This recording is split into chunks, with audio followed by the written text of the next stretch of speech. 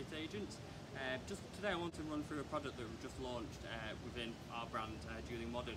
Uh, it's called Nil Deposits. So essentially, uh, we are helping tenants move a lot easier instead of that big chunky deposit that you tend to pay prior to moving.